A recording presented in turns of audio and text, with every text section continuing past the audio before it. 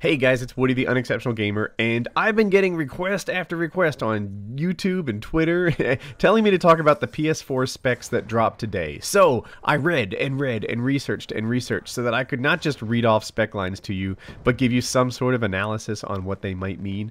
Uh, for those of you that don't normally watch my videos, in addition to being a gamer, I also have a master's in engineering with a focus in comp sci, so I understand computer specs and design maybe a little better than most gamers do. I hope that doesn't sound arrogant. I'm just trying to let you know where I'm coming from. Anyway, let's get started. First up, memory or RAM. 8 gigabytes. That's what I'm reading. I read I reported once before that it was going to be 4 and that was going to be less than the Xbox, and that troubled me. Yeah, the 4 is a little low. My main point of contention was that it didn't match the Xbox, you know? Like hypothetically if whatever the PS4 had 16 and the Xbox had 2, then it would bother me in that you know the lowest common denominator is the one they're going to be writing cross-platform games for, and I didn't want one to be significantly weaker than the other. I read another article that said that the bump, you know, that, that the 4 number was originally right at one point, but due to some sort of corporate espionage, Sony found out what Microsoft was doing and upped their RAM to 8 so that they would match it. I have no idea if that's true. You know, not everything you hear on the internet is true. so, but I read it and I thought it was interesting and it kind of tied into the narrative that I had seen before. So I thought I would share it with you. Anyway, 8 gigs of RAM. Video memory, 2.2 gigs, which is also good. I don't know how that compares. I haven't seen specs on the Xbox 720 video memory, but 2.2 gigs of video memory is, is not bad for a console. I'd love the C4, but whatever. It, it's pretty strong and it's way stronger than we're used to now. Let's get on to the good stuff. It's rumored to have four dual-core AMD 64 Bulldozer processors. Alright, so let's talk about what this means.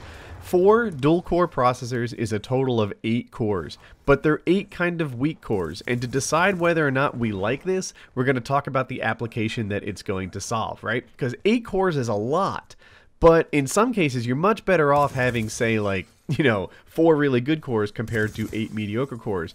Where do we fit here? Well, I think it's a good choice. Here's the deal. Sometimes in computing, tasks can easily be broken up into separate threads, and sometimes they can't. Separate threads, separate processes. That means that these things can all happen simultaneously and, you know, execute in parallel. If the task is such that you can divide it then it's great for this. If it's not, then it's it's terrible for this. So know, really, if the task can be divided or not determines on whether or not part two of the task depends on part one. Little basic comp sci type stuff here. So listen, if your task was kind of like dominoes, where one triggers the other, triggers the other, triggers the other, having lots of cores doesn't get you anywhere. Rendering an HTML page is a lot like that. You know, the whole thing just sort of goes top to bottom and you're stuck.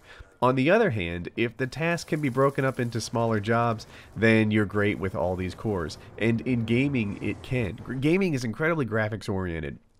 imagine this, right? Let's say you wanted to rotate a picture, and a picture was just rows and columns of pixels, like a gigantic tic-tac-toe board. You following me here? If I wanted to rotate it, I'd take the top row and then stack it vertically in a brand new picture. Take the next row, stack it vertically next to it. Take the next row, stack it. Now I'm, you know, three columns deep in this thing. I could do that again and again and again. Now, instead of doing it like that, one at a time, grab a row, slide it, grab a row, slide it. Let's just, I hope you're picturing this along next to me and not getting lost. Then let's do it this way instead. Let's divide the picture into quarters and then take, you know, all four of the top rows and make a new picture. All four of the next rows make a new picture and then reassemble them at the end. That's an example of a task that is super easy to break into separate threads to, to handle like that. So anyway, is it a good choice to load up with a gabillion or eight, uh, you know, sort of weak cores compared to one expensive core? Yeah, I think it is. In gaming, there are a ton of tasks that break into lots of different you know processes that you can run parallel. So obviously these guys know what they're doing, and they picked a CPU, or in this case, four CPUs that match the task at hand. Next up, the GPU. Uh, it's the AMD R10XX. I wasn't familiar with this. You know, I, I, had reported previously that it looked like it was going to be based on the 7970, which is a very good CPU. One of the... there are two CPUs that sort of fight for supremacy, the 680 and the 7970. a lot of people don't know that, you know, because of the new drivers and the new gigahertz version of the 7970, they, they currently own the crown, but the 680 did not too long ago, and I got a lot of actually incorrect feedback saying that I mislabeled which one was the top card. But um, uh, anyway, the point is, it's among the top cards. When you look at the 7970 and the, and the 680, you're talking about the best cards out there. And I didn't know what the AMD R10XX really was all about, so I had to do my research. And it is the same Tahiti processor that the 7970 runs on. So that rumor could still be true, that it's based on that same processor or a variation of it. But anyway, the GPU that's going in the PS4 is going to be right there with the cutting edge GPUs that you can get in a PC at the time of its release. And of course, you know, this is how consoles go, right? When they release and they're brand new, they're competitive with PCs in terms of processing power, and then over time they slip behind until they catch up again. That that's just the the cycle that consoles go through. But anyway, uh, I'm excited that Sony has decided to put such a good GPU in their system, assuming that it's all true. Next up, this is the stuff I put the least amount of faith in. By the way, all these specs and leaks are based on the dev kit that came out. So Sony is giving out development kits to people so that they can have games at the time of launch, right? They have to do that. They have to give these guys units. Otherwise, the, the console will launch and there'll be nothing to play. But um, it has four USB ports, the USB 3.0 ports, thank goodness, and it has dual Ethernet ports dual Ethernet ports? That shocks me especially. What are they doing with these double Ethernet ports? I'm I'm not quite sure. Maybe this is just dev kit stuff that's not going to work its way into the uh, into the console. But I, I, yeah, I don't know. Like I consider myself kind of technical, and I don't know what a console would do with dual Ethernet ports. But uh, um, whatever. it's going to come with a Blu-ray drive. That's zero surprise considering that we're talking about the Sony console and they own the Blu-ray standard and the PS3 has the Blu-ray. It's got to do it.